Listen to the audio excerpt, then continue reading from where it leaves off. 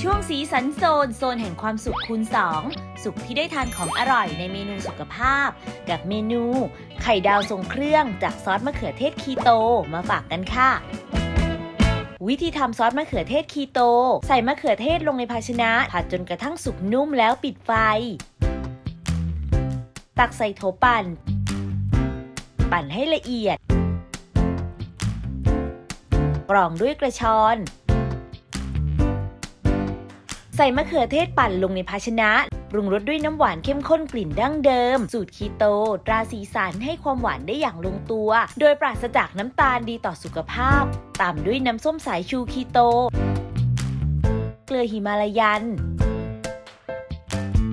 คนผสมให้เข้ากันแล้วปิดไฟเตรียมไว้ค่ะ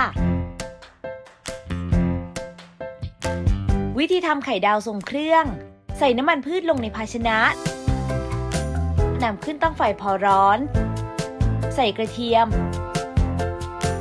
ผัดจนกระทั่งมีกลิ่นหอม ใส่เนื้อหมูสับหอมหัวใหญ่หั่นเตา๋า แครอทหั่นเตา๋ามะเขือเทศหั่นเตา๋า ข้าวโพดอ่อน ผัดจนกระทั่งสุกนุ่ม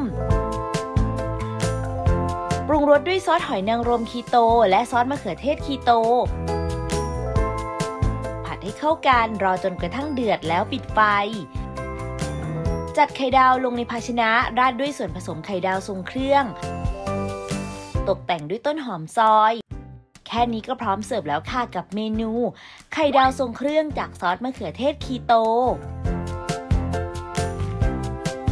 คุณผู้ชมสามารถติดตามความอร่อยเพิ่มเติมได้ที่ fanpage Facebook สีสันโซน ชุมชนคนรักสุขภาพ